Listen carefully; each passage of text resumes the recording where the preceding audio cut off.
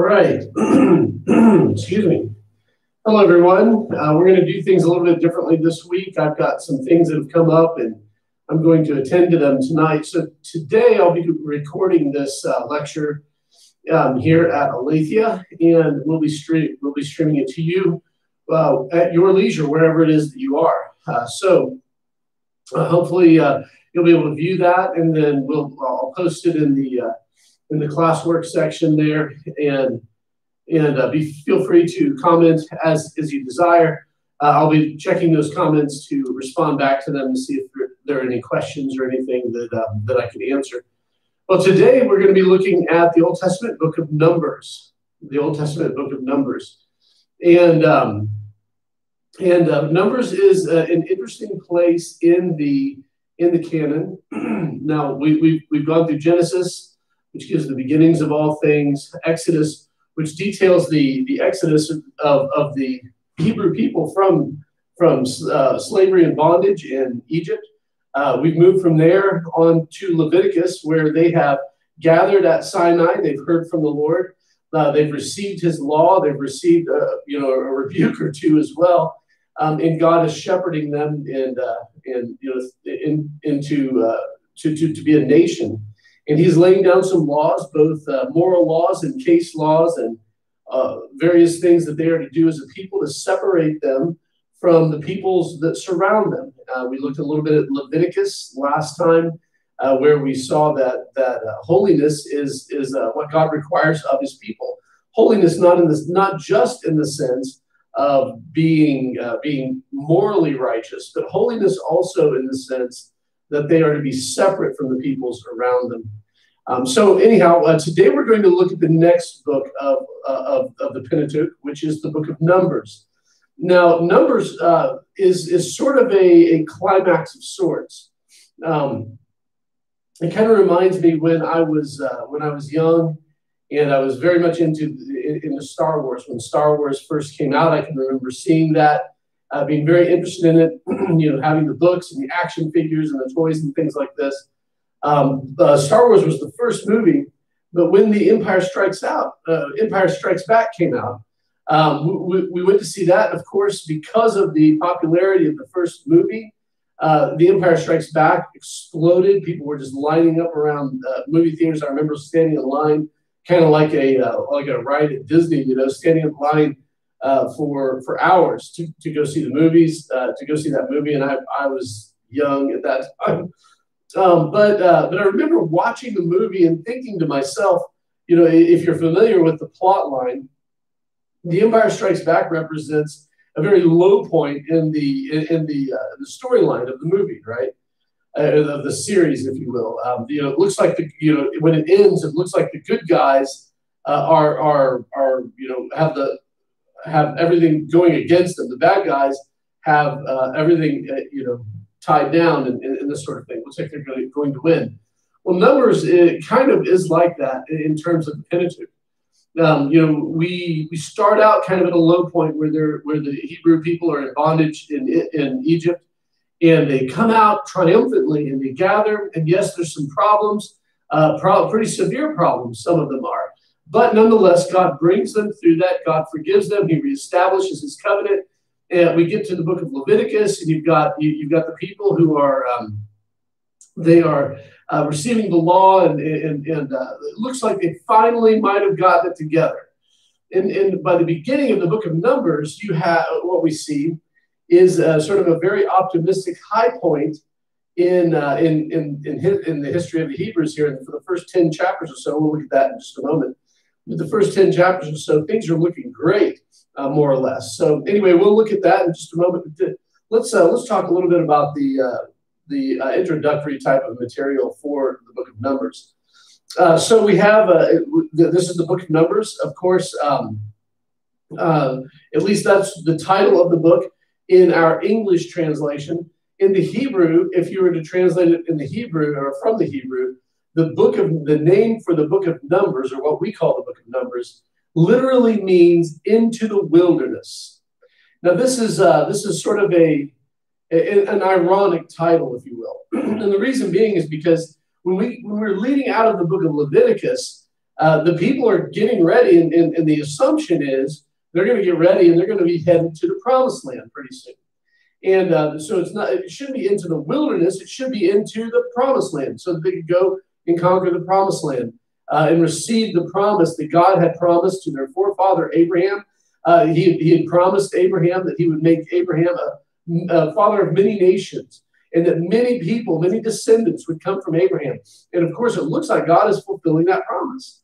Uh, God had promised Abraham that his people would go into slavery and into bondage and, and then be led out after that. And God has been faithful to do that by a mighty hand, by, de- by a demonstration of power, uh, uh, by the plagues he exercised upon Egypt, and also the mighty deliverance through the Red Sea, where he destroys the army of the world power of the day. And, and, and, and uh, by, by leading them into the into Sinai and, and receiving the law, hearing directly from God, knowing without a doubt that God is there. Um, and, and uh, he has he has another promise yet to fulfill, though, and that is the promise of the land. And the, the promise specifically the land that he had shown Abraham when he says, Abraham, uh, lift up your eyes and look, everywhere you see will be yours and your descendants forever as an inheritance. And, and so uh, and so that, that promise has yet to be fulfilled. Well, the Israelites know this, and they are, they, they are you know, it, it, they are expecting now God has fulfilled all these other promises that they will receive the land that God has promised their forefathers. Um, and so one would think at the beginning of the book of Numbers that, uh, that, that, we have a, great expectation of, of going into the, into the land of, of capturing the land and of receiving finally the fulfillment of the promise that God has given to his people. Um, but the book in Hebrew is called Into the Wilderness. And so, right off the bat, we begin uh, from the beginning, and we can tell that something has gone horribly wrong uh, with this, with, with, what's going on here. So the title is, is Numbers. In the Hebrew, it's it's Into the Wilderness. Uh, the author again is Moses, and uh, he, he again authors the, the vast majority of the Pentateuch, with the possible exception of that which records his own death. Uh, the date is around 1400 BC. Uh, 14, well, it's 1446 BC to about 1400 BC. So it spans some time uh, because it, it begins really about a year after the Exodus takes place and then spans some time of the wilderness wanderings as well. Excuse me. Uh, the setting is primarily in the wilderness um, and, uh, and really sort of a, a key phrase that would encompass uh, the, the, the general message of the book of Numbers is that this is God fulfilling his promise. This is God fulfilling his promise. He is in the process of fulfilling all of the promises that he has given to Abraham or given to Israel through Abraham. All right, we're going to dive right in and uh, we're, going to look at, in some cases, a, a chapter by chapter, uh, when there's something of significance that we need to look at here. Uh, but I will be skipping through some of the material because, again, this is a survey class. To give a general sort of outline of the book, we've got Numbers 1 and 2. Uh, number, in, in, Numbers 1 and 2, God commands the, the Israelites to take a census of all the men who are 30 years and, uh, and over. And uh, basically, uh, this is a census that, that, that, uh, that takes a census of the fighting age, of the men of fighting age, if you will. And, uh, and, and, it breaks it down, of course, tribe by tribe, and how many people, sometimes family by family, how many people are, are from each one of these tribes, how many people from, from these families. And what we end up with is is uh, is a rather uh, a rather large uh, complement of people who would be able to fight in case the need arises. We're looking at something over 600,000 men. Of course, the Levites are excluded from this because the Levites are supposed to be uh, dedicated wholly to God. And, and, and so they are not included in this particular census. Later on, there will be a census taking of, of the Levites and the priests and things like this. But, but uh, what we see here in, in this particular section is just the, the men of fighting age. Now that brings us to a um, that brings us to a, a, a, sort of staggering number of people. If we consider that there are over six hundred thousand fighting men, then how many people are we talking here? Because if that excludes even the Levites, um, we could be, you know, if if the, it excludes the women and children, excludes uh, maybe even men who are over the fighting age. You know, uh, there's some debate about that, but nonetheless, we're looking at a number in the millions, a couple million of people most likely coming out of Egypt and then going into the promised land. And of course, um, of course, uh, the the naysayers and the, the skeptics will uh, be found everywhere saying, well, the numbers in the book of Numbers are exaggerated. You know, there couldn't possibly be two million people or so that come out of out of the uh, out of this um, bondage in Egypt and into the wilderness. The wilderness would not support them. Of course, those same people are probably skeptical of the fact that God gave the people manna to eat. Um, and, and so they wouldn't have to be looking for food or scavenging for food. God gave them, uh, on a number of um, time, uh, a number of instances, God delivers uh, birds to the to the camp so that they can have meat to eat as well. God provides miraculously out of uh, out of the rocks of the desert, provides water for them to drink, and so there would, would have been no need really to uh, for, them to to have um, grown crops or foraged for food or water or things like that. God is the one who's providing miraculously for them, and, and some people tend to forget that that is the that you know that's part of the whole message of the book of Numbers, and, and really, honestly, the book of uh, the Pentateuch in general, is that God is providing for His people. And they say, well, yeah, but uh, you know, there's no real evidence of those people. You know, um, we don't see any artifacts that are left behind, like various implements that they would have used to survive and this sort of thing.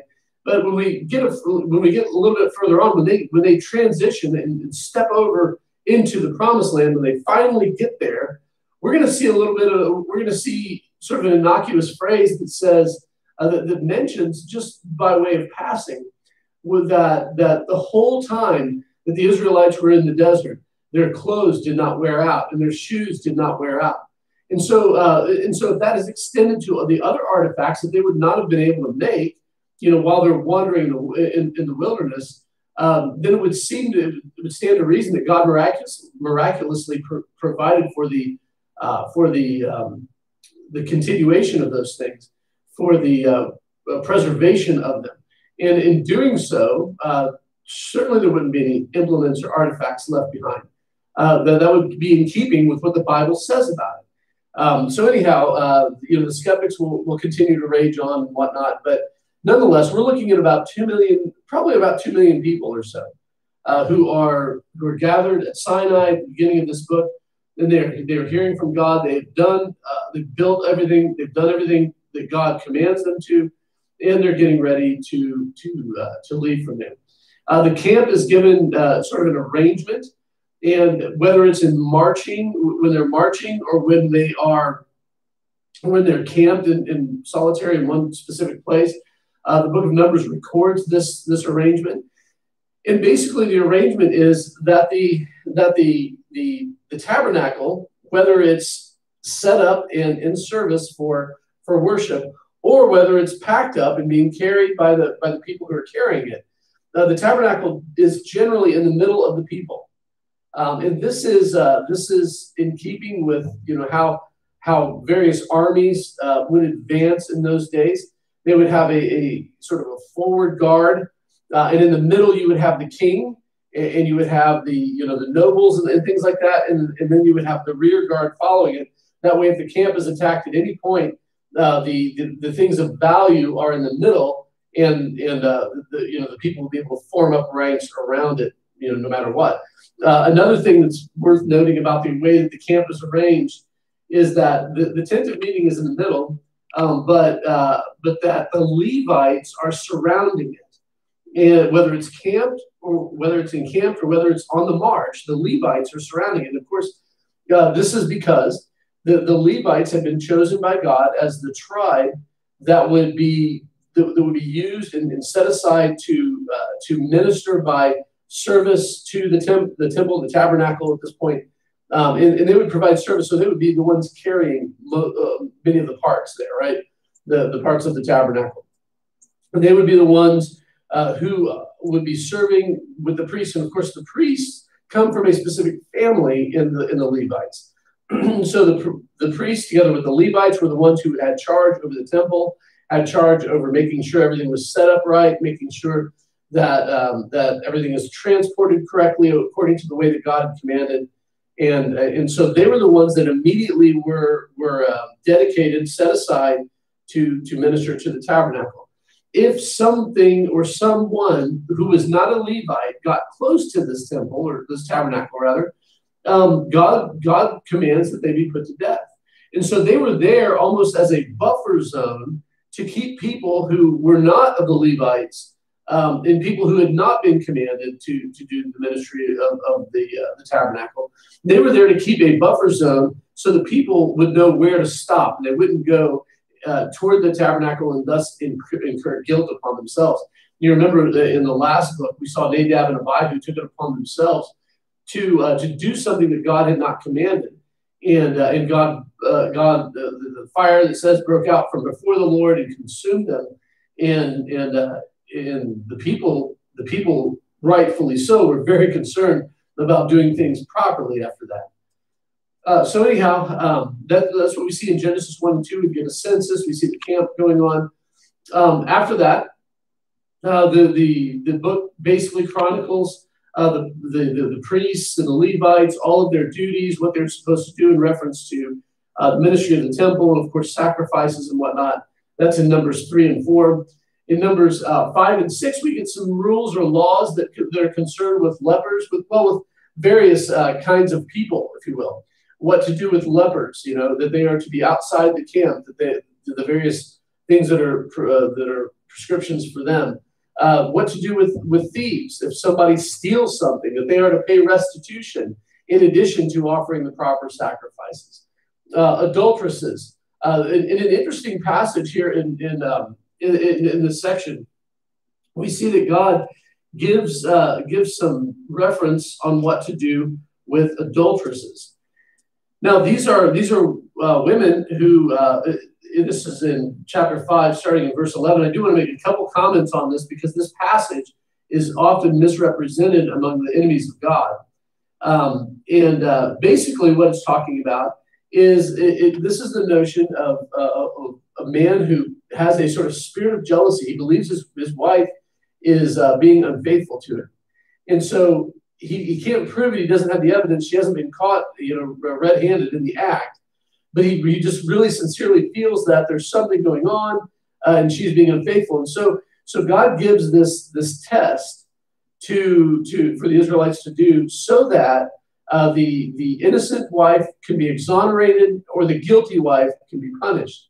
And it's kind of an interesting, it's kind of a weird, a weird thing. So basically what happens is that, um, is that they're, they're, they're to take some dust off the floor of the, the tabernacle and mix it together with some water uh, they are to have the woman who is uh, suspected of adultery to drink this water while, while performing some vows. Um, and, and then she also has to perform uh, a, sacrifice.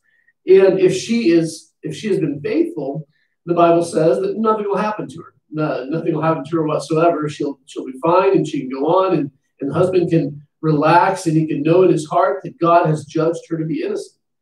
But if she is not faithful, if she if, if she has actually been secretly an adulteress, then she drinks of this water, she does this sacrifice, she takes this vow, she speaks this curse upon herself.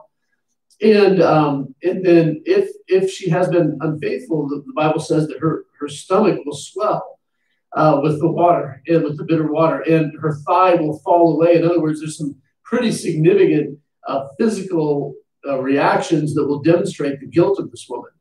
and and so um, and so that's uh, that, that's what the, that's what the, the, passage is about is trying to determine whether or not a woman is is, is uh, guilty of adultery.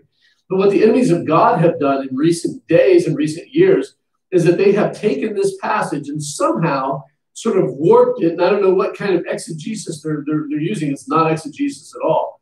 But, uh, but what they're trying to do is to make it say that this passage teaches uh, that, that God is commanding a, um, a, a, chemical abortion, that this is somehow, uh, this test for adultery is somehow a, a, a chemical abortion, which of course is nonsense. Uh, God does not sanction abortion anywhere in Scripture. In fact, uh, abortion, as, as, it is practiced in our culture, really the word, the biblical word for abortion, um, the, the, as is practiced in our culture, would be child sacrifice uh, because because moms and dads are sacrificing the life of their child so that they can achieve whatever amount of prosperity that they want, whether it's prosperity or, or education or uh, safety or uh, you know whatever the case may be.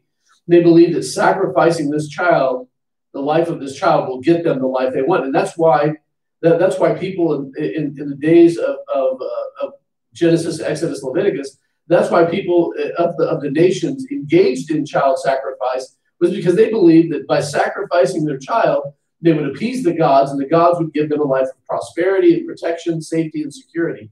That's exactly why people sacrifice their children today. Uh, they may not have a little altar, they may not have a little a little uh, statue or, or, things like that, but that's exactly that. Nonetheless, that, that's exactly why they are doing those things today. So, so anyhow, um, this uh, this portion of Scripture does not, in fact, sanction abortion. Um, let's see, the, the next group of people that, this section uh, addresses is that of the Nazarites. Those are taking a Nazarite vow. Uh, and the Nazarite vow is a special vow that a person would fulfill, uh, and they, there, there were some ceremonies that were associated with that as well. Um, some notable characters, characters, some notable people throughout the scripture who um, are seen either uh, are, are, seen as having a Nazarite vow. Uh, obviously, Samson comes to mind uh, because Samson was commanded at, at the very, but his parents were commanded really before he was born that he would he would that, that the razor would never touch his head, which was a Nazarite a thing for those who are under a Nazarite vow. The razor would not touch his head. Uh, that he would not partake of any sort of fermented or alcoholic beverages, and that he would not defile himself by touching a dead body. And of course, when we get to Judges, we'll see that um, that he does all three of those things. Uh, anyway, uh, so those are you know that was Samson, uh, possibly John the Baptist uh, was a you know had had a, a, Nazarite vow, and of course we see Paul um, when he when he uh, um, when he is in the temple uh, when he when he's arrested in the temple. It, it, talks about him. Um, it talks about him shaving his head and, and, and, this sort of thing, as if he were um, completing a vow or completing a, a period of vow. So, uh, see, Nazarite vows were not always lifelong. In fact, they most of the time weren't a Nazarite vow was something that you vowed in particular, and then you would you would forego certain things until the vow was fulfilled, and then you would go and you know you could go and engage in those things. You could shave your head and and, and all that sort of thing. So anyway, the Nazarites. There's some some uh, things given for the Nazarites there. Uh, number to, Numbers chapter seven. What we see there, we see that the the tabernacle is consecrated and they're very detailed information about how the, how the Israelites go about doing that, the sacrifices that were made um, the, in order to consecrate the, the temple. Uh, in, in, chapter uh, chapter eight, uh, we have the Levites who are consecrated at that point, um, and then uh, and then and then in chapter nine, what we see is that the Passover is celebrated. Uh, the Passover is celebrated, and uh, the this is significant because this is a year after they have been delivered from the, the year after their first Passover. Um, and so the Passover is celebrated. And this is the high point, really, of the book of Numbers, and really the high point of the narrative of the exit, the whole Exodus, so Exodus, Leviticus, Numbers, Deuteronomy. This is the high point, with the exception, the possible exception of when they're about ready to cross over and go into the Promised Land.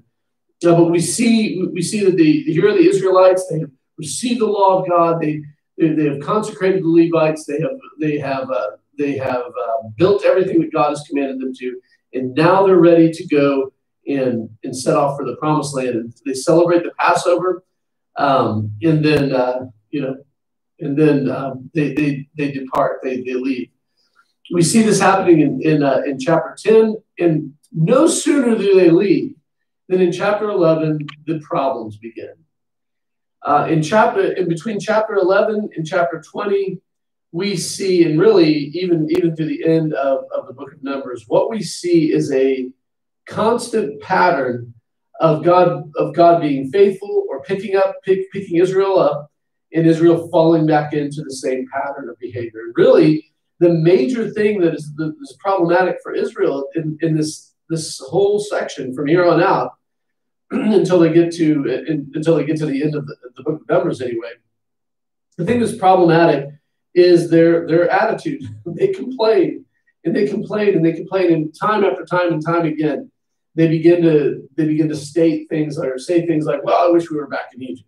You know, there was food back in Egypt. We had pots of meat sitting around that we could just we were we were you know we were living high on the hog back in Egypt. They wanted to go back into slavery rather than being free and trusting in their God to take care of them. How many times does that sound like us today? How many times do we would we rather have slavery with prosperity or slavery with affluence than freedom with God, even though it's sort of a dangerous freedom, if you will? Um, you know, this last year, this last year with, uh, with our, our, struggle with COVID and in our culture and things like this, uh, this last year has really driven that point home to me as I look around at my brothers and sisters. And, um, you know, there, there's warrant sometimes to be cautious. You don't want to uh, inordinately endanger your brothers and sisters in Christ. You want to show love to them, love for neighbor, love for brother, to, to make sure not to get them sick and this sort of thing.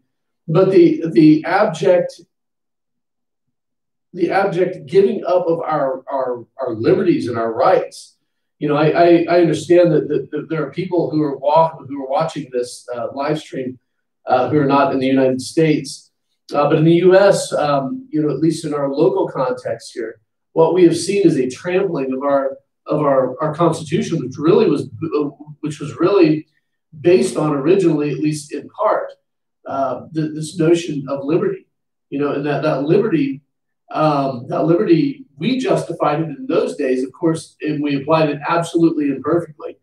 Uh, because you know, at the same time that we were we were talking about liberty for all, we were also uh, engaged in, in slave uh, the slave trade. But uh, but at least the ideal was there, and, and the ideal was that God has granted mankind, the human beings, to be free. This this uh, this freedom of conscience, this freedom of, the ability to, to make one's own decision. Well we have uh, we have allowed a, a, crisis to be manufactured in our nation, and in, in the doing of it, we have also handed over many of our rights to the various uh, governing authorities in our whether state, local, or or national. Um, people oftentimes prefer safety, the safety of slavery, over the over the danger of freedom, and um, that's exactly the Israelites' problem here. They were complaining about uh, they were complaining about the lack of safety, the lack of being able to know where your next meal comes from. Uh, they were they were complaining uh, about God. well, um, basically, between chapters 11 and chapter 20, what we see is that uh, is that Israel is that Israel through a series of, of various things, the, the unfaithfulness of Israel will be highlighted, and yet God is nonetheless faithful to discipline them, but to also restore them and, and uh, bring them back. All right. Um, well, in, in Numbers 11, uh, the people complain. Um, they complain about the, the, uh, the lack of food. They complain about the, the, the, water, the lack of water. They complain that the food that God has given them is not, is not what they like. It's not really palatable for their, their stomach. It's not what they want uh, they want some meat. And so God sends them quail. And they catch these quail. And as a result, uh, I don't know if it was the bird flu or what, but as a result, uh, a plague enters the camp and God, uh, God judges them. Uh, and and uh, he does so. but then after that, God also appoints judges for the people so that so that they can be a little bit better. The administration can be a little bit better, a little bit tighter that way um, in Numbers 12, we have Miriam and Aaron, Miriam and Aaron questioning Moses' right to lead. Uh, now, in, uh, in, in Numbers chapter 12, the, the questioning of Moses' ability to lead really is revealed to be, uh, to be related to the fact that Moses has a Cushite wife. Look at 12.1. It says Miriam and Aaron spoke against Moses because of the Cushite woman whom he had married, uh, for, for he had married a Cushite woman. So Moses gets married to a Cushite woman. Uh, for those of, who may not know, uh, Cush was an area in Ethiopia, what was modern day Ethiopia. And so, in all likelihood, um, this would have been a, a black woman, uh, and, and Moses would have been a, a Semite, so he would have been a Jewish man. Uh, so, this was an, uh, an interracial marriage, and it, it, this is a blending of the ethnicities, uh, a blending of the peoples, if you will. Now, Moses' wife undoubtedly was a follower of Yahweh. And the reason that we could, we, we state that with almost absolute certainty is because later on, what we'll see is that God, pro- God uh, prohibits intermarriage with these other nations around them, prevents Israel from intermarrying with the nations around them. But it's not a, uh, he's not preventing them from doing so because of the different ethnicities. Now, he calls them by their ethnicities. But understand this when God prohibits them from intermarrying with the peoples around them, the issue is not the, the ethnicity, the genetic differences. The issue is that is that these people and these nations serve different gods. And the problem is, is that when, when Israel goes to intermarry with these peoples who are, who are uh, outside of the covenant, who are not Yah- worshippers of Yahweh, they're going to lead Israel astray. Uh, and God makes that unequivocal. It's not the it's not the ethnic issue; it's the religious issue that that is at stake here.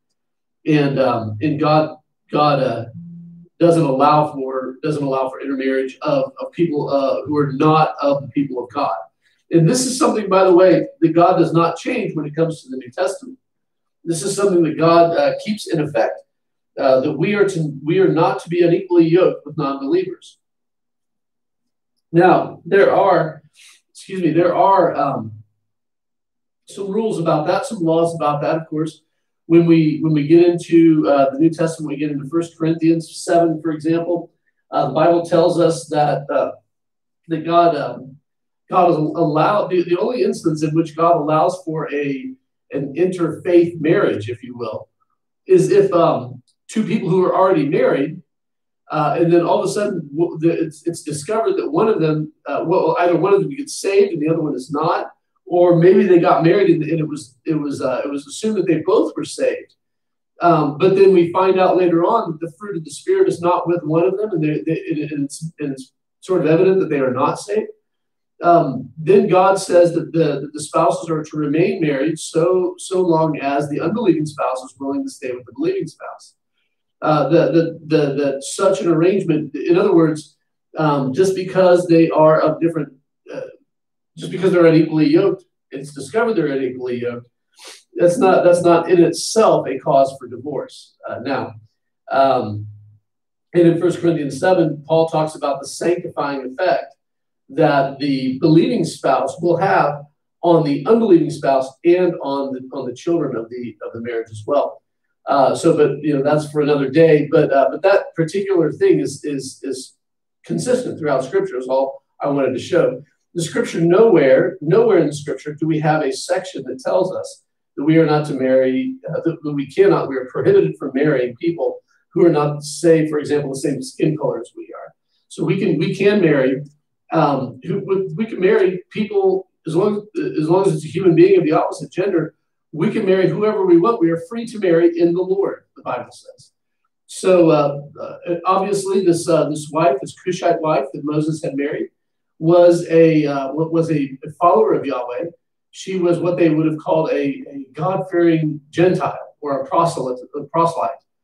Um, but she uh, she was she was fine for for Moses to marry. So Moses Moses marries her. Well, Aaron and Miriam get bent out of shape, and they use this as a foothold by which they can then um, uh, challenge Moses' authority to lead where God calls Miriam and Aaron into the tent, and, and God gives Miriam leprosy uh, as, a, as, a, as a way of showing, hey, look, don't mess with my servant.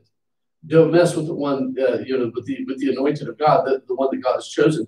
So Miriam gets leprosy. Uh, Moses prays for her, intercedes on her behalf. God grants that she's healed, but she does have to stay outside the camp for I think seven days um, and uh, before she's allowed to come back into the camp. In doing so, God demonstrates that He is uh, that He is has chosen Moses to be His leader. Now, in, in chapter 13, uh, chapter 13 and 14, we come to a critical juncture in the book of Numbers. Uh, for, the, for the Hebrew people have, have come to the, the wilderness in Kadesh Barnea. And from Kadesh Barnea, that's kind of the last stop before they get into the land of Canaan and they begin their conquest of the promised land. That, at least that's what they're supposed to do. Well, they are they are at Kadesh Barnea, and uh, um, Moses sends in 12 spies into the land. He wants to spy out the land. He wants to see if it's a good land. He wants to see, okay, where are the cities? Where are the strongholds? Where are the places that we want to that we want to focus on first, and this kind of thing. It's always a good strat, strategic thing to do. And so he so he does this. He sends 12 spies out into the land. And they they, they go in there and they they spy out the land, they, they look at it, and indeed they see that the land is a beautiful land. It's a land flowing with milk and honey. And that it's a land where uh, where um, they would, if they were to inhabit it, they would prosper.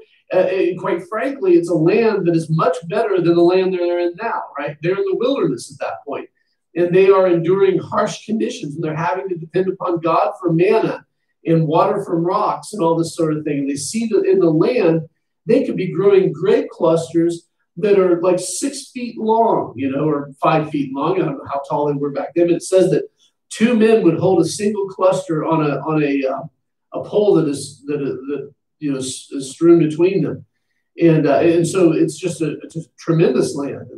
And but there's there's a bit of a problem with this land. This land is a good land, but this land also has some pretty significant defenders. Right, this land is is populated by strong people, by by giants, if you will, and so. Uh, they, they say the sons of, Na- uh, Anak are there, the, the Nephilim are there and uh, and, and that's the, that's the report that the spies bring back.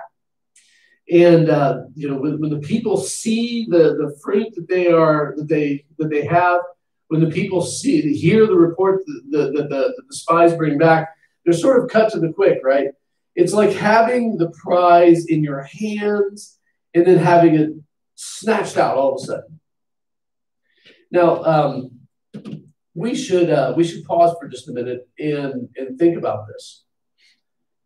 God promised them the promised land. What God did not do was promise them that the conquest of the promised land would be easy or that it would require no faith. And this is a this is sort of a, a lesson that we can take out of this, right? Because how many times is it that we we get ourselves believing on God for something to happen. And you know what? Maybe God did say that He wants that thing to happen. We won't even argue that at this point. But then, but then when things get tough, um, we get bent out of shape. You know, I used to be on the executive board for um, the church planting team in our state convention.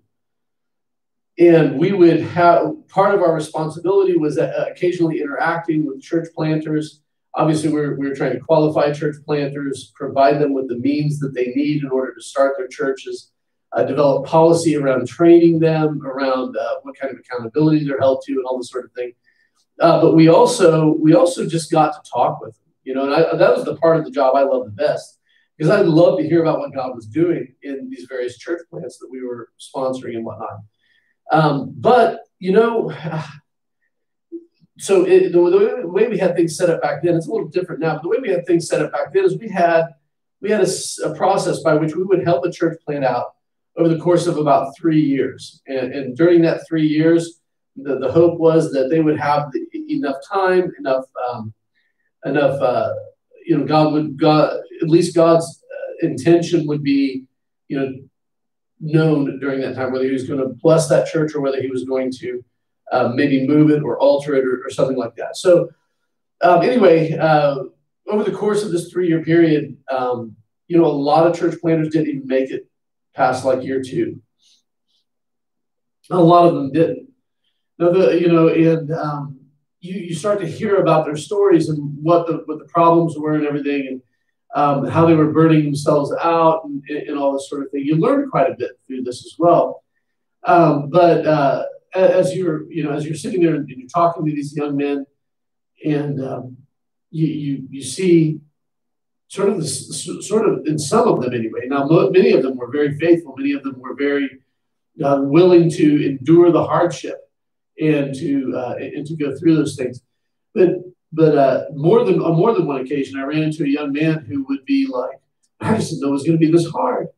You know, I, am having to be bivocational, you know, because the church isn't big enough to support me. And so I'm having to work a job over here, then do ministry over here, and I'm putting in 60 and 70 hours a week, and I'm ignoring my family and, and all this sort of thing. And, and it's like, okay, hold on, brother, just settle down. Let's see if we can manage this, you know. Uh, but uh, but on more than one occasion, they were fraught with the challenges that planning a church, you know, presented. Um, you know, God may have given them a vision to plant a church, may have given open doors for them, may have got them started down that road. But when they found out that it was difficult, they began to they began to sort of doubt. They began to kind of fall away. And you know, that's not just for church planters. I've seen that in pastors. I've seen that in other ministry leaders uh, throughout my time as a pastor. Um, you know, burnout is a real thing. And there are some things I think that people do that don't help. Uh, for one, they ignore their own relationship with God. For two, they ignore uh, their, their, their duties and responsibilities to their families. And they wonder why things get burnt out so quickly or why things get so you know crazy so quickly. Um, well, it's because God did not design you to do those things. He did not mean for you to, for example, ignore your family so that you can be involved in ministry. Um, in fact, a, a, a man who ignores his family so that he can do the ministry of God um, has disqualified himself from ministry because because some of the requirements for ministry is that he he governed his family well. Anyway, I, am kind of getting off into a rabbit trail there, but, uh, but, but you know that is a significant truth that, that ministers and I'm sure that many people watching this video are are those whom God has raised up in the church to do ministry, whether as in a pastorate or an associate pastor or an elder or a teacher of some kind. Um, you know, God calls you first to your family. If you do not manage your family well, then you are to step down and you are to you are to uh, reprioritize. But anyway, uh, the, God had called the Israelites to take the promised land. They had not even begun to do that yet. They were just looking at all the work that had to be done and they were fretting about it.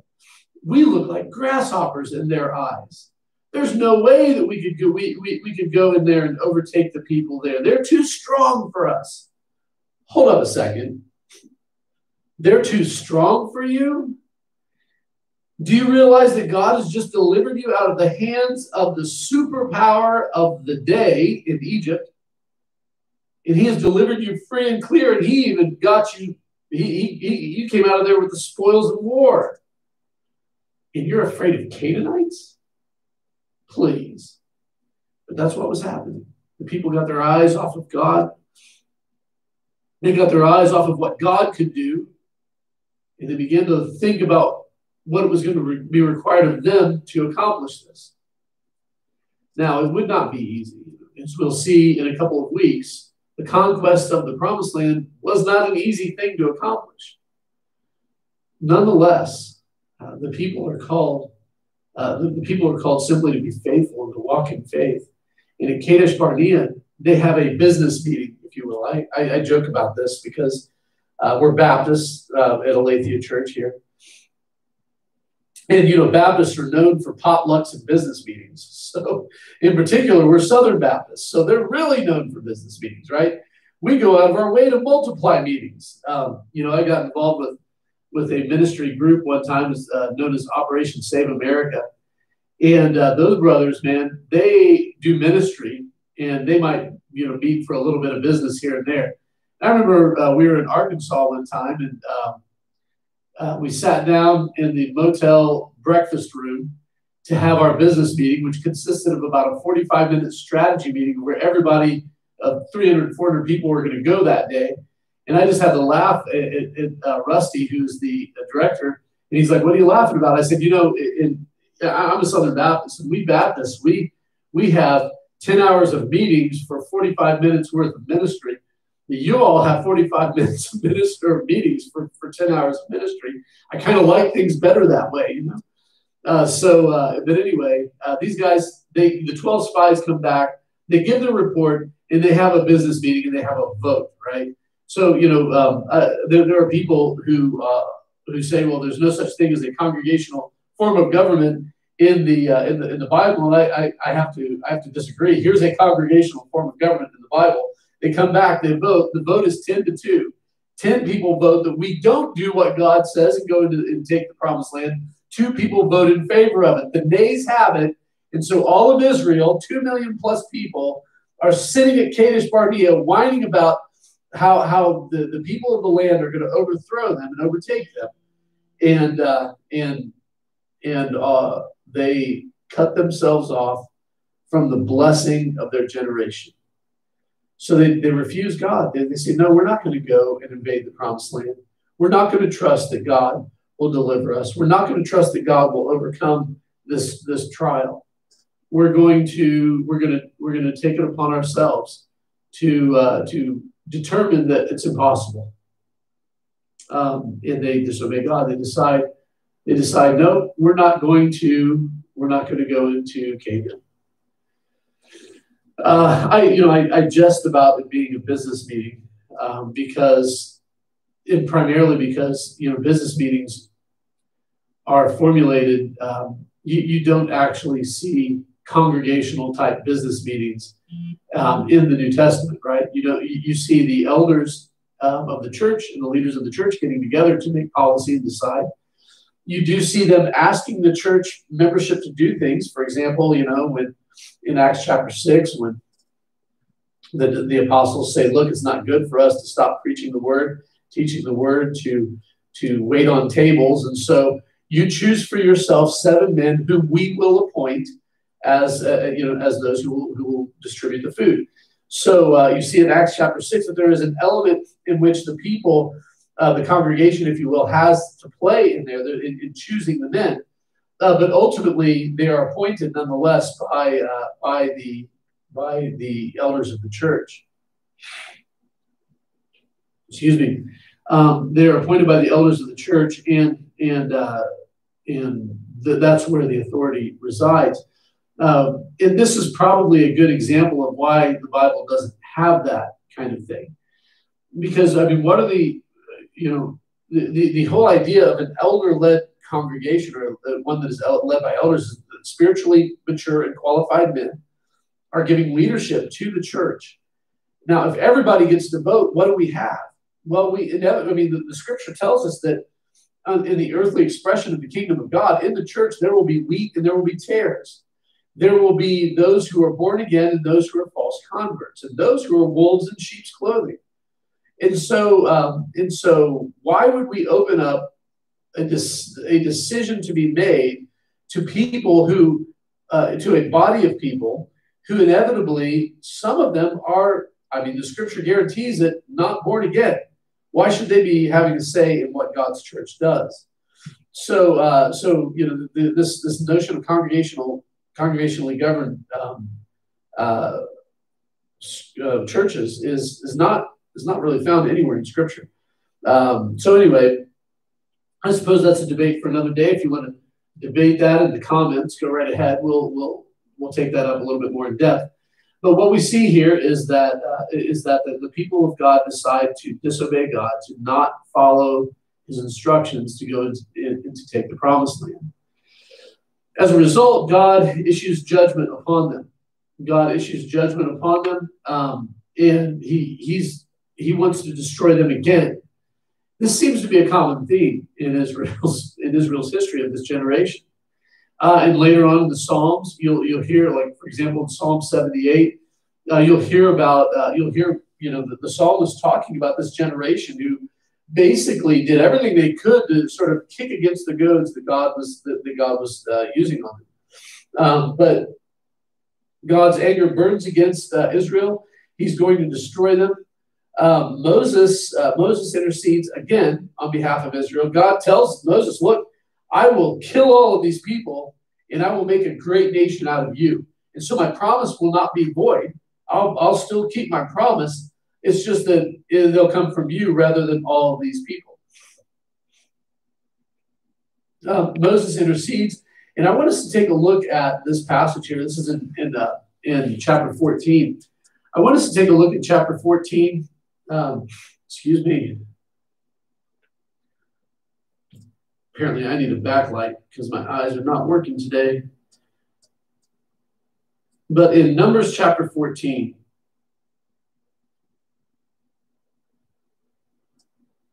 let's get to the right book. How about that? Now let's try it. In Numbers chapter 14, the Bible says this But Moses said to the Lord, Then the Egyptians will hear of it. In other words, if he destroys the people, then the Egyptians will, will hear of it, for you brought up this people in your might from among them. And they will tell the, the, the inhabitants of this land, they have heard, uh, they have heard that you, O Lord, are in the midst of this people. But you, O Lord, are seen face to face, and your, your cloud stands over them, and you go before them in a pillar of cloud by day and a pillar of fire by night. Now, if you kill this people as one man, then the nations who have heard of your fame will say, It is because the Lord was not able to bring this people into the land that he swore to give them, and that he has that he has killed them in the wilderness. And now, please, let the power of the Lord be great as you have promised, saying, The Lord is slow to anger and abounding in steadfast love, forgiving iniquity and transgression, but he will by no means clear the guilty, visiting the iniquity of the fathers on the children to the third and fourth generation. Please pardon the iniquity of this people, according to the, the greatness of your steadfast love, just as you have forgiven this people from Egypt until now. So that's Moses' prayer of intercession. And I want us to see a couple of things about Moses' prayer of intercession. Uh, first, Moses appeals to God. Uh, he doesn't say, "Oh Lord, don't you love us? Don't you, you know, think of all the people that this was this would kill. Think of all the babies, and think of the women, and think of all the children that are going to die." He doesn't use those sorts of uh, approach, that sort of approach, to pull the heartstrings of God. He appeals to God not on the basis of what this is going to do to the people. God knows very well what this is going to do to the people, but he appeals to God on the basis of his concern for the glory of God. And he says, God, look, here's what, you know, if, if you do this, if you kill this people as one nation, then all the peoples of the nations that inhabits this land are going to laugh at you. And they're going to say that you were not strong enough to bring these people into the land. And so instead of doing that, you just decided to kill them in the wilderness. Think about what that, that's going to do to your great name, Lord, the, the reproach that that is going to bring. It would be untrue, of course. The people here, uh, they deserve to die in the wilderness. They deserve to, to, to not enter the land. But Lord, Lord, why, why should your name suffer reproach for the sake of vengeance here? Um, he appeals to the Lord on the basis of the glory of God. He appeals to the Lord on the basis of, uh, of the, the, the nations knowing his character.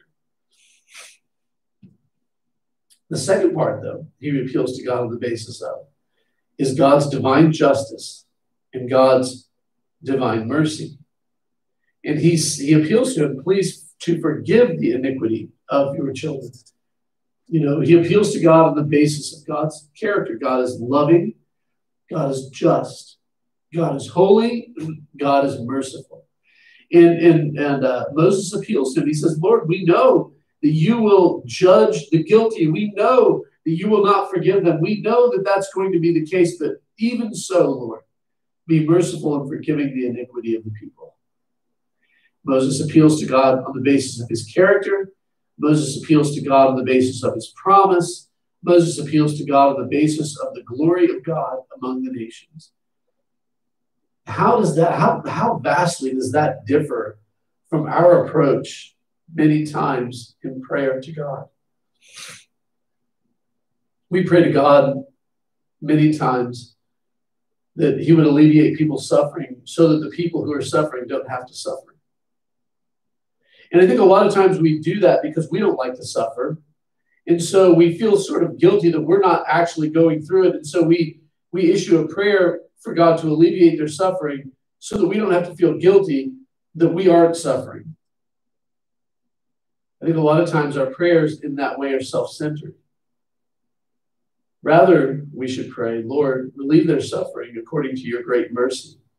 But if you should have them suffer, Lord, have them suffer well, so that they can display your glory in the midst of their suffering. You see, because what happens to us on this on this in this life, what happens to us is a, a momentary pain and affliction compared to the weight of glory that we will receive when we stand before Him. Yes, our prayer, we should pray for people's suffering to be relieved. We should also pray that ultimately their suffering would be used to the glory of God. We should pray with a concern that the character and the nature of God should be displayed in our suffering. That that uh, that that His goodness and His mercy and, and, His ability to help us persevere should be on display during that time. Um, you know, Moses' prayer is intercession for others. He confesses their sin. He says, "Lord, I don't have any excuse. They're sinners. They are have been rebelling against you. They've and, and yet, yet, uh, Lord, please forgive them." And it's interesting uh, what, what we're going to see this sort of play out. Not to try to give any spoilers, of course, you've already read the book. But as this plays out, because Moses prays for the people, and because God grants his request does not slay them where they deserve to be slain, it, God does not raise up a, a people from the line of Moses for himself, right? He doesn't he doesn't make Moses great. Moses is like, look, I don't want that. I don't want that. He doesn't do that. But nonetheless, it, it, but the people are allowed to survive and they're allowed to continue. And they continue to complain. the book of the book of Numbers continues on and they're they're complaining during the whole 40 years of wandering in the wilderness. And as a result, Moses one day gets fed up with them and he loses his temper. And we'll, we'll talk about that in a moment. And because Moses prays that these people be allowed to live and that God forgive them, God doesn't make that, that great people out of Moses. God let, allows this, this, this uh, grumbling generation to continue on until the point where they, they, they, incite, they incite rage within Moses. He loses his temper and he strikes the rock. And because he does that, God doesn't allow Moses to enter the promised land. I got to wonder if God would have killed everybody and would have accomplished his promise through Moses alone, would, would Moses have been able to enter the promised land? I don't know. You know, Moses' intercession for the people might very well have cost him his ability to enter the promised land. But that's okay. That's what he was called to do. And he faithfully discharges, at least at this point, his ministry that God has called him to. He intercedes on behalf of the people. Um, God does grant to not destroy the people. God says, okay, I won't destroy the people, but here's what's going to happen. Not a single one of these people who made this decision to, to, to stay out of the promised land, when I told them to go in, not a single one of these people are going to enter the promised land. They're all going to die in the desert. They're going to die in the wilderness, and we're going to walk around the wilderness for as long as it takes for these people to die. And that, that's going to be 40 years, by the way. So 40 years. It's going to take them 40 years. One year for every day that the spies were in the land. The spies had gone in the land for 40 days. They had spied out the land. They had come back and decided not to go into the land. So God says, okay, you won't. None of you will. Not a single one of you, with the exception of two people. Those people are Caleb and, and uh, Caleb and Joshua. Why Caleb and Joshua? Well, Caleb and Joshua were two of the 12 spies. Two of the 12 spies. And they um, they went into the land and they were the ones that came back and said, Yeah, there's a lot of good stuff there. Yeah, there's giants there. But hey, we got God. Those giants ain't going to be nothing to us. So let's go take the land. They were the two voices of dissent among the spies that came back. They were the minority report. Not really. They were the majority report. They were the ones who had that were going to be faithful to the plan of God.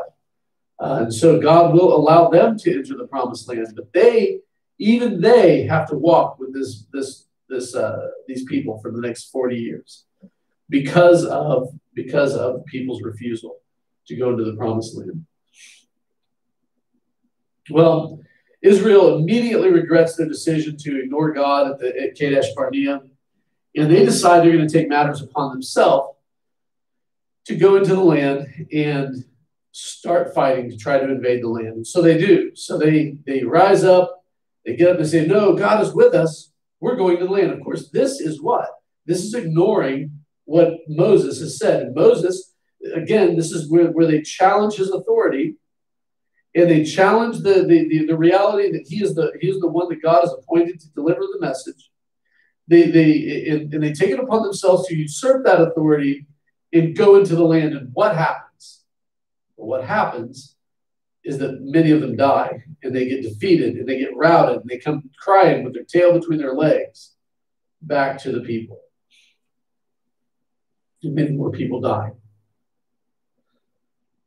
Um, we see this common refrain of the people of Israel doubting God. And it usually takes the place of, or takes the, takes the, uh, it manifests itself as them rebelling against the authority that God has put over them, which should tell us something about God appointed authority. That if there is a God appointed authority, whether it be in the home, whether it be in the uh, in, in the church, whether it be in the government, that as long as that God appointed authority is, is telling us the truth about what God has said and about what God requires, that we need to come under submission.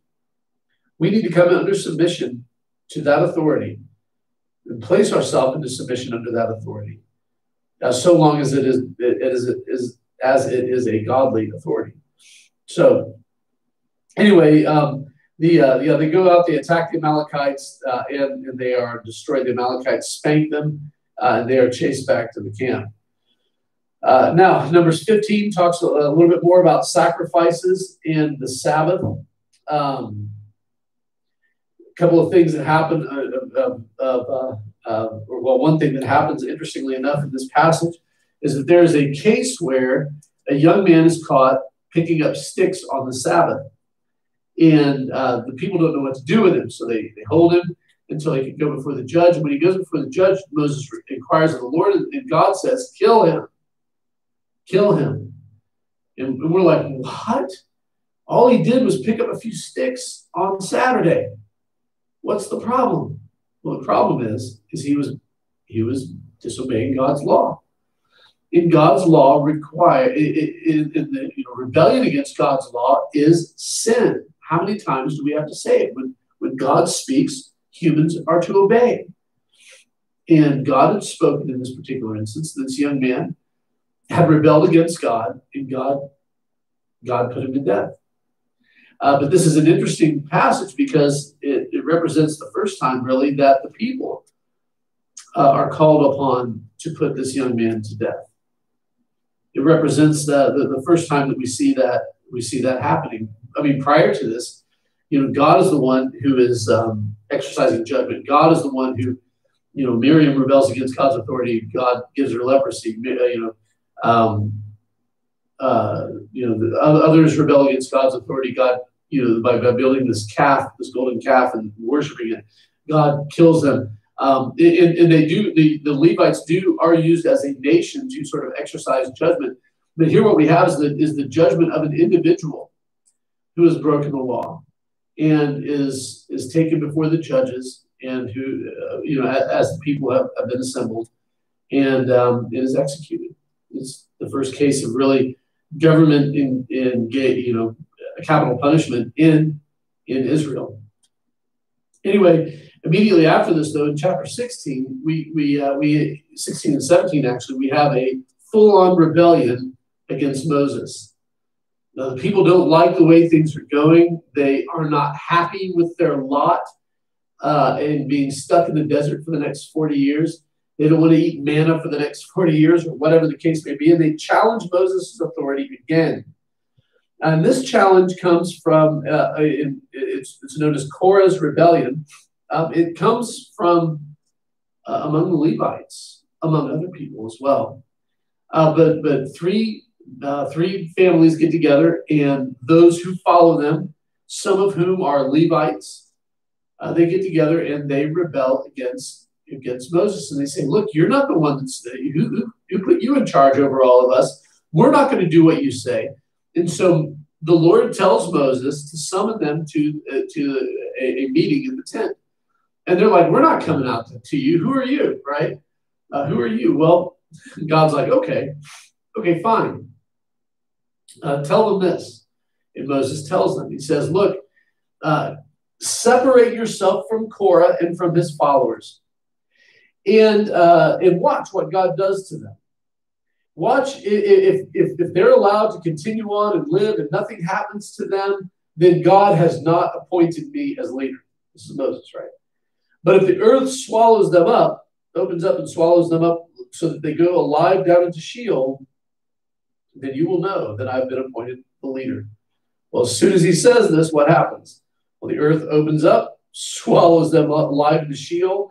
The fire, the fire from the censers of 200, was it 250 people who had been, uh, uh, uh, who were, or of Korah's family or of his entourage, people who were allied with him, they had, they had taken, excuse me, 250 of them had taken fire in their censers and, uh, and God breaks out with fire and, and consumes them as well. Excuse me. And so God unequivocally states or affirms the Moses and Aaron's leadership. Um, so uh, these these co-conspirators are either swallowed by the land or consumed by the fire. And then God turns around and says, "Okay, enough is enough," and He begins to inflict upon the people, uh, uh inflict a plague upon the people basically this is God adding an exclamation point to the to the fact that Moses is his leader and what Moses, the, the person who's going to be in charge of the people. And uh, the authority of Moses is to, to not be challenged or not be questioned. God inflicts a plague upon them. Moses and Aaron intercede on behalf of the people.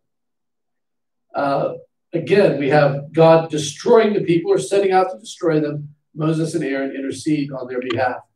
Um, God, God demonstrates that He has chosen Aaron by uh, by by. Uh, later on, He says, "Look, I want all of you, all of you elders, to bring a staff before me. Write your name on them."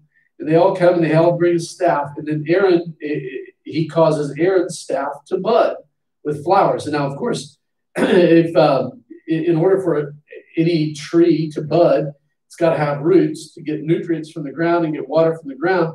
But God unequivocally demonstrates that, that Moses and Aaron are the ones that he is, he is called to lead, both by destroying those who rebel against them and by positively affirming it by making Aaron's staff bud. It has flower buds that come up on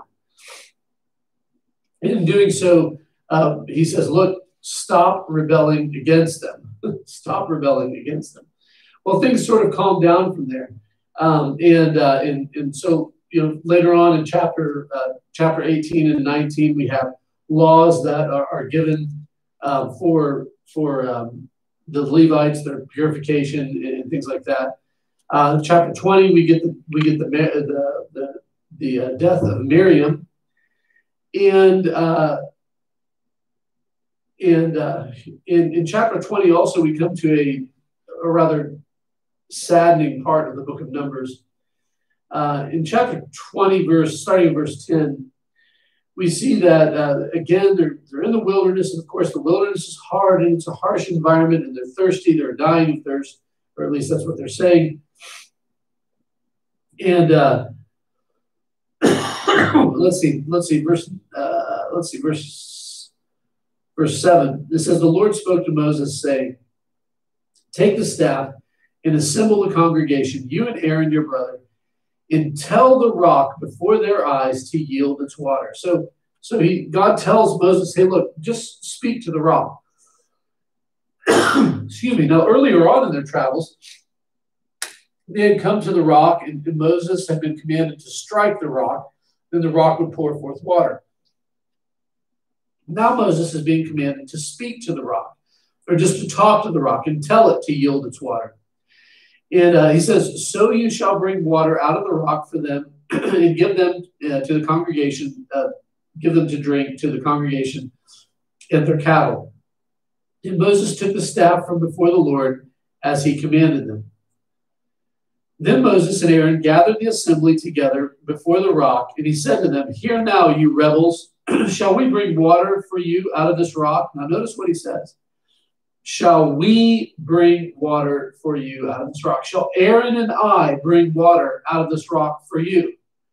And Moses lifted up his hand and struck it, struck the rock with his staff twice, and water came out abundantly, and the congregation drank and their livestock.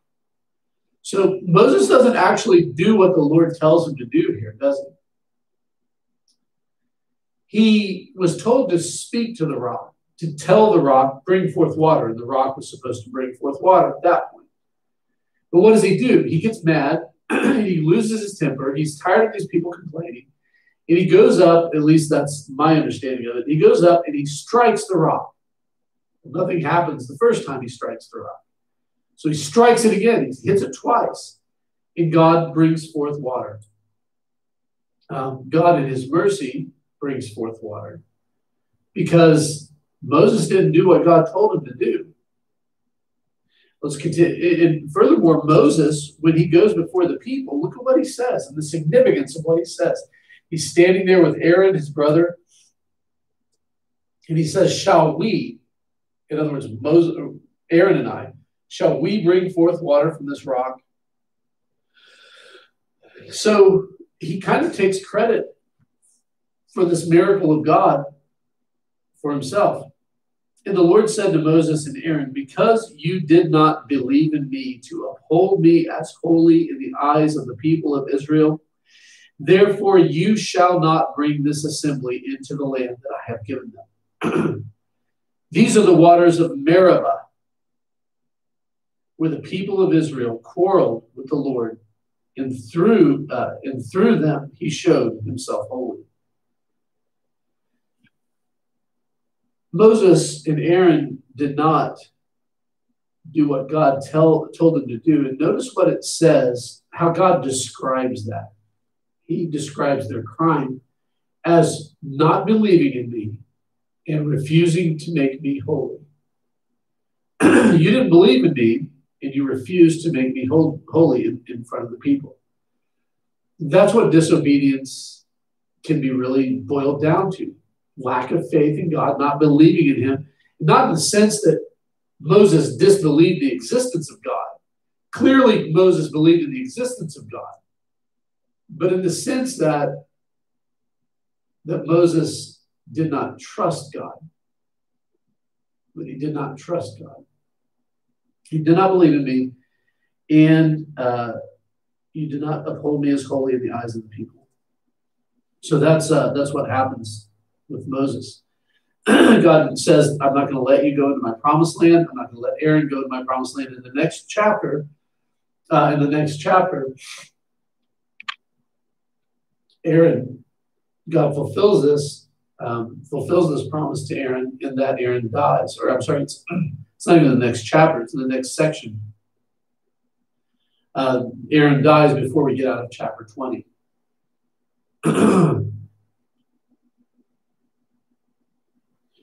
and he tells Moses and Aaron both that you shall not enter into my land. You shall not enter into the promised land. Well, um, in, in Numbers 22 through 25, we also have a, another interesting another interesting passage. This concerns a, a guy by the name of Balaam. and Balaam uh, is, is an interesting figure that is brought up or alluded to later on, various places later on in Scripture. Balaam is a he's a prophet, but apparently he's a prophet for profit. He's a prophet in that God gives him uh, knowledge and God allows him to proclaim his word. He, God speaks to him and he, he speaks to other people. well, he's well known by Balak, who is the king of Midian. Excuse me. Excuse me. And so Balaam, um, Balaam is just sitting at home one day. Balak, Balak, the king of Midian, looks out and he sees I'm sorry, the king of Moab. He's the king of Moab. He sees the uh, he sees the Israelite people encamped on his borders, and he's like, man, there's no way we'll be able to fight those people. I mean, there's a couple million of them. You got to figure they're numerous. They're they're covering the, the plain, and so um, and so uh, so he goes and he, he's he, he's got to figure out a way to deal with these people. And he says, I know what I'll do. I'll go get Balaam, who's this prophet that I know about, and I'll get him to uh, to curse the people of Israel. And when he curses the people of Israel, then uh, then they will they'll not be able to go up and fight against you. So that's what he that's what he tries to do in a nutshell. Balaam, the king of Moab, he's fearful of the people, and he calls Balaam to uh, to come in and curse the people. Well, Balaam, he, he eventually through of course there's a there's a whole series of back and forth. He doesn't he, he refuses to go and refuses to go. And finally, God allows him to go. So he hops on his donkey and he, he's headed out there to, to Balak. And the angel of the Lord is standing in the way so as to slay him. And Balaam's donkey like like like runs up against the wall of the cliff and, and hurts Balaam. And Balaam starts beating the donkey. And the donkey's like, "Hey, look, stop beating me!" You know. And you know Balaam's freaking out because he's you know he he hears the donkey talk. He sees the angel and finally, he gets the message. And he's not supposed to say anything except what God gives him to say. So he goes to Balaam and he, or Balak, and he tells Balak this. He says, Look, Balak, here's the problem. Yeah, I'm a prophet of God. Yes, I could curse these people, but the problem is, is that I can't curse anything, anyone who God has not already cursed. And God hasn't cursed these people, God has blessed them. So I can't curse what God has blessed. See how this works? uh, Balak refuses to take no for an answer. And so he brings Balaam to go and curse the people. Well, Balaam goes to curse the people. He opens his mouth, and all of a sudden, blessing starts coming out. He starts blessing the people. And Balak about loses his mind. What are you doing? He says, Well, I told you I couldn't say anything but what God wants me to say. Wouldn't that be great if all preachers were like that?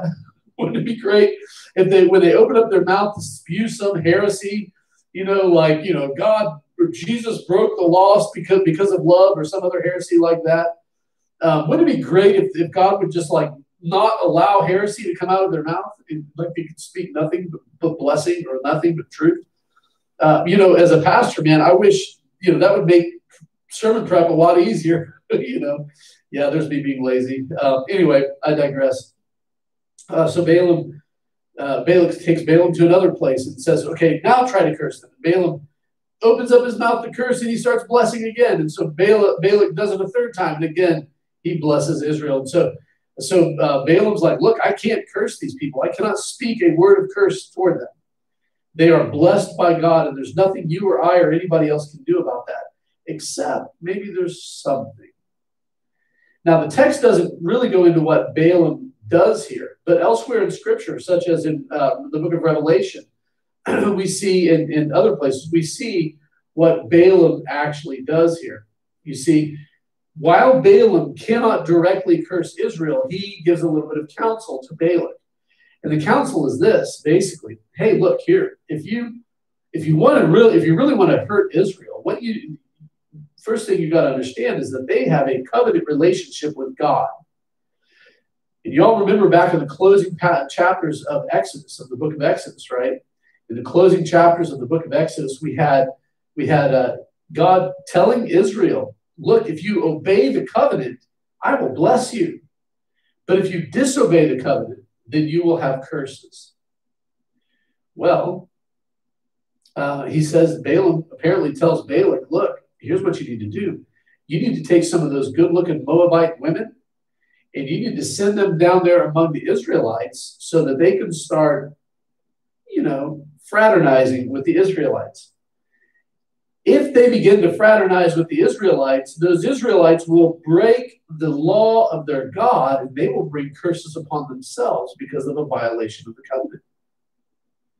So that's all. I'll see you later. So Balaam goes on, he goes back to where he was living.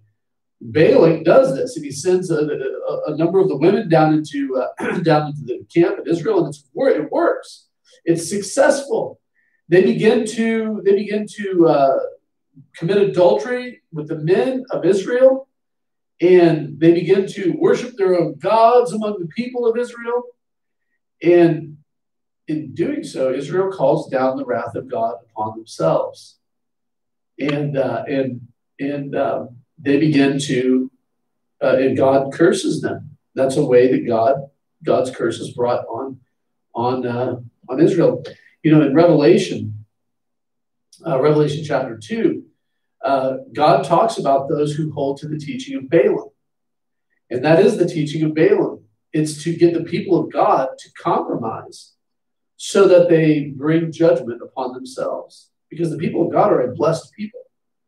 And uh, it, when, when they when they are when they compromise, when they compromise and they begin to uh, engage in idolatry, in syn- syncretism, uh, they begin to compromise on the, on the, on the moral st- and the, the practical stand that God has called them to, to, to take. They begin to be involved in sin. They're going to bring discipline on their, on their lives. That's true Old Testament and New. God will discipline the sons that he loves. Um, and, and, so, uh, so God brings judgment upon them. Um, there is a there is a disease that breaks out. Uh, there there is also uh, so there's a disease, the disease that breaks out, and also uh, the sons of Aaron, uh, in order to bring a, a, an end to this curse, uh, again have to kill those who are involved in in, uh, in breaking the law of God. And so while while they're there, while they're engaged in the act, uh, he comes up and just runs a spear through both of them, thereby breaking the curse. and uh, Israel has to has to throw that off, has to repent, has to uh, put that out, put that out. Um, and then the plague is also a judgment from God. 24,000 people die in, in the plague. Well, I'm going to skip on forward uh, quite a ways here to the end, uh, closer to the end, in chapter 35, because there, because uh, there's uh, there are a number of things that take that take place um, there's a number of laws that, that are that are uh, laid down. Uh, one of the most interesting ones is, is Zelophehad's daughters. Uh, Zelophehad has has several daughters who, um, you know, who because they are daughters, and there's no there's no law laid down for their inheritance rights, and uh, and so uh, God allows the, the, the daughters of Zelophehad to to inherit the uh, the land that is that was given to their father um, and in, in doing so, uh, they can pass that on to their sons later on. Um, so anyway, but, but it's interesting because that yes, uh, here we have in, in the people among the people of God that yes, women have property rights or can have property rights. That's not a you know that that would have been unheard of in, in most of the nations around them, possibly with the exception of maybe Egypt. Egypt would have uh, would have allowed the daughters of Pharaoh to own property and land, but um, but not just among the normal, average, everyday people. Well, anyway, the, the, the next thing, probably the last thing we'll talk about today is that of the cities of refuge. And what's interesting about this is, you know, they have begun to sort of inhabit the land on the east side of the Jordan. They haven't crossed over to the promised land yet. Um, but uh, as they're inhabiting this land, they, they begin to, they, they begin to, uh, God begins to cast a vision to them about how things should be governed once they come into the land that God is giving them. And he says to them that when you come to the land, you, are to uh, set aside certain cities as cities of refuge. Um, and basically, what cities of refuge are uh, are places to where people can flee if they have if they have inadvertently uh, killed someone. So, so the idea here is that um, if someone kills another person, but it was not done intentionally, maybe it was an accident.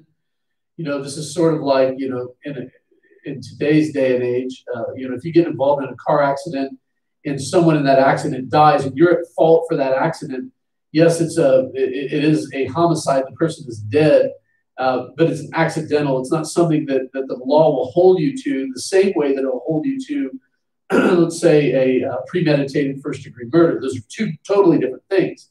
Uh, you didn't mean to do it. It was an accident. You you wish you could take it back. You wish it would never would have happened. Uh, wasn't you know it wasn't something you were intending to do. So Um, so that is what's going on in this situation. That's the situation that's being considered with the cities of refuge.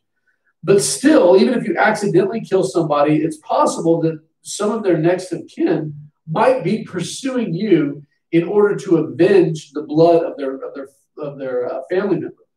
And so they're they're chasing you. They're chasing you. Um, if you can make it to a city of refuge, um, and you make it into the cities of, uh, into a city of refuge, you, the, the, the judges of that city will will hear your case, and if they determine that your case is valid, that you this was an accidental death, then you will be protected within within the, the, the walls of the city of refuge. Um, now, if you go outside the walls, you go outside to do something, then there, there's nothing they can do. There's a, only a certain boundary of jurisdiction here, right? But if you if your case is judged, you are not guilty of premeditated murder, then the avenger of blood, the person that is the, uh, the next of kin that is seeking your life, can't will not be allowed to harm you, and you'll be you'll be able to move freely within the city of refuge. And as long as you remain there, you'll be safe. now you're to remain there for a period of years that equal to the, the death of the high priest. So once the high priest dies, now think about that for a moment. Once the high priest die, dies, you are free to go. You can leave. Uh, and the, the avenger of blood can no longer uh, can no longer execute kill you in vengeance. If they do, then they will be they will be killed. They will take their own blood upon themselves, on their own hands. So so, but think about the significance of this, uh, the sort of uh, typological significance of this. you you you committed a crime that is that, that is uh, normally guilt uh, that is normally punishable by capital punishment by the taking of your own life. You've committed this crime. You're guilty. You, you, it happened. So what do you do? Well, you flee to to the one who who, who alone can give you refuge. So you go to re- you, you go to the city of refuge and you are to stay there until what? Well, until the high priest dies. Who is our high priest? Who is the, who is the high priest uh, of, of the church? Well, it's Jesus. And think about the think about what this means. When the high priest dies, you're free. You can go. You can leave the city of refuge. You no longer have to be walled in. You no longer have to live here and here alone. You can go outside of the city now and you can pursue, uh, you're free to pursue the, the rest of your life. And isn't it, isn't that what happened to us? Our high priest has died, and yet he lives again. And his death is what brought us, bought us our freedom from this, from this walled-in existence, from this incarceration. Um, we no longer, the, the avenger of blood can no longer have a claim against us. Even though we were guilty, even though we we did what was what, what we were charged with.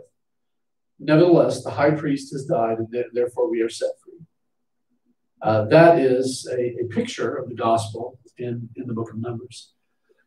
Well, this has been the book of Numbers, and we we, we uh, we're going to leave it off uh, there, uh, and we're going to pick up we're going to pick up Deuteronomy next week, uh, where we will see that the people, that the old generation has passed, the new generation is getting ready to go and, and, and, uh, and claim the promised land for their own. And God is going to give them a second reading of the law to this new generation to make sure that they know what to do once they get into the land. Well, that is that's all that we have for today. May God bless you uh, in your studies. Continue uh, continue on in your studies, and we will we will talk to you next week. Thank you very much, and God bless. Goodbye.